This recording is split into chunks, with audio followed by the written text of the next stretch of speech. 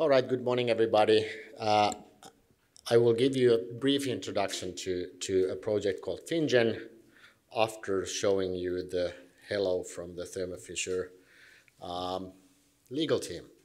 So, um, in other words, so what, what I'm going to tell you about is, is a project where we have put together uh, or up uh, in the middle of putting together half a million Finns and genotyping everybody and linking uh, the individuals to to the health registry data available in Finland as in other Nordic countries. But let's first take a step back and, and ask the question, why are we doing this in Finland? Why are we interested in Finnish genetics? And it's really these four components that come together in, in Finland. And sorry for boasting a little bit about my native country, but but but it's it's a it's it's a population history that we have. I have one slide on that, and then it's the fact that there are the long tradition of, of, of biobanking material in Finland, and, and we've been pushing the, the genomic data production for a long time together with linking to the health register. So Finnish uh, population history in 20 seconds is, is, is here. Uh, many of the individuals who moved around tens of thousands or of thousands of years ago, some of the un perhaps unfortunate ones turned to the north and came to Finland and inhabited uh, the country over, over decades after the ice melted of, uh, after the ice age. And the first permanent settlements were in the, in the coastline, so for a longer time, that's where we had uh, permanent settlement. We were also the backcountry or the backyard of Sweden for hundreds of years. And the Swedish king in the 16th century thought that maybe it's a good idea to have some people inhabit also the, the eastern border of the country and the northeastern. So that's where the second wave of settlement from to the east and, and, and northeast happened. And then, as in many other countries as well, there's been a very rapid uh, population growth, which is now plateauing, by the way. But but anyway, so that this this is this is the in in short the the population history, multiple bottlenecks, and, and a small number of founders originally coming. So how does this show in the genomes of Finns?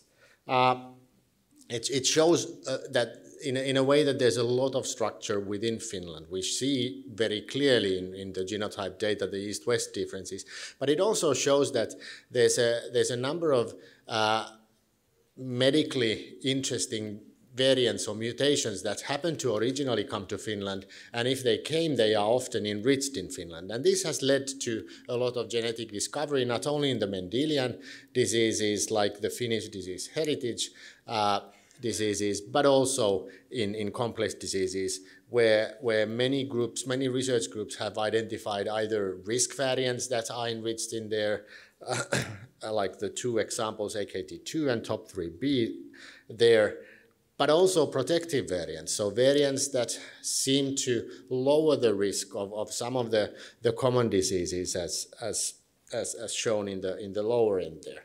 And this is really, again, it's connected to the population history. So when we look genome-wide, we see that there is an enrichment of, of loss of function variants or deleterious mutant variants, and uh, if they happen to come to Finland. So either they if they didn't come, we don't see them in Finnish Finnish population. But if they happen to come and survive over the the centuries, uh, they're often enriched. So that gives us some opportunities to perhaps with smaller sample sizes to see effects that are much more difficult to see in in in areas where where the allele frequencies for for these knockouts are are, much lower. So this is led to the idea of let's what what what wouldn't it be nice if we had a good proportion of Finnish population actually genotyped? And in came after a quite a long period of planning FinnGen project with the aim of, of genotyping over 500,000 Finns. And that's really a tremendous population effort. So that's 10% of the population will be genotyped in this, in this uh, uh, study with the idea that we would get the genetic information for these individuals and the links to the decades of health register data. I, I give you a couple of examples of how that, how that works in, in the next slides. And we partnered with, with Fisher to, to, to uh, build a, a chip that was customized for the, for the Finnish population we have the imputation, we combine this information into, into a computing uh, area and, and do a lot of uh, association analysis. Actually, uh, right now, our routine analysis are combine 1,800 endpoints, as we, as we call them. So disease endpoints that have been identified through the registries together with the, with the genome-wide data. And this, this is all done together with the, with the governmental funding through Business Finland in Finland, as, as well as uh, in collaboration with uh, now nine pharma companies who have joined the, the group. So, so this is sort of administratively or data flow wise what FinnGen is about. Um, if we look inside of, of, of, Finland, it's really also important that we have a strong group of or a chain of, of partners, not only the Finnish funding agencies there, it's the healthcare industry, the biobanks, there are nine biobanks now participating within Finland in this uh, biobank data collection. The universities with med, med schools are all there, the university hospitals, districts, as, as well as pharmaceutical companies. So it really takes a lot of players to put this kind of thing together. So the health registries part. So what are we pooling? Where are we getting the health information for this data? So, so it's really uh, thanks to the decades of administrative monitoring of the Finnish healthcare system that we are, it, it's possible for us to combine these things. So, so every single hospitalization in Finland has been electronically coded and ICD coded since 1969. So that's 50 years of, of, of follow-up right there in, in one registry that covers the whole nation. Um, um, similarly, every outpatient visit primary care visit. Every cancer in the, in the nation has been uh, recorded from late 50s, as well as then, then drug purchases and drug reimbursements. Every single time we buy a prescription drug in, in, a, in, a, in a pharmacy, we, it's registered, and, and that has been going on since 1995. So all pulled together uh, into the database for these participants in the FinnGen project, all data harmonized because they have been harmonized since the very beginning of these registries. And they're connected with the person number that, that we use for everything in Finland. So that's, that's really the, on, on top of the genetic side of things, really the power that we believe that will, will provide us a lot of uh, research opportunities and other opportunities down the line. So what are we really doing now with these registries? uh, and the ICD codes. Here are two examples of, of pooling what we called endpoint development. We have seven clinical groups that go through the, the, the different registries and the codings and, and think about how to best pool the data. So if, for example, for coronary heart disease endpoints, we have the hospital and outpatient registries with ICD codes, but also there's the procedure codes that, that, that uh, give us opportunities to identify cases uh, from the Alzheimer's side, it's more difficult, but, but the drug reimbursement and causes of death uh, information helps us as well. And, and then we are in the process of adding, adding lab values. The, the genotype side, we developed together with Thermo Fisher, we developed the Axiom chip version of FinnGen chip. This is the version number one here, with, with the different components going into the production, not only the imputation backbone grid for, for common variation, but also rare, every single Finnish rare coding variants that have been seen in, in over 20,000 exome sequences that, that we had at the time, as well as the, the uh, pathogenic variants and pharmacogenetic variants and so forth. So that all came together. And then, then we are taking legacy cohorts that have been collected over the decades. There's about 200,000 samples that have been in the, or that have already been collected over the decades. And then there's active uh, data collection in, in, in Finnish, particularly uh, Finnish clinical biobanks now to, to uh, have another 300,000 samples collected. We have data freezes every six months, so 50,000 additional ind individuals uh, are pulled together for this uh, every every six months. We are right now in the uh, the, the February this spring uh, data uh, freeze included 146,000 individuals, and we impute everybody to a Finnish reference panel of, of for over 4,000 whole genome, deep whole genome sequences in the background.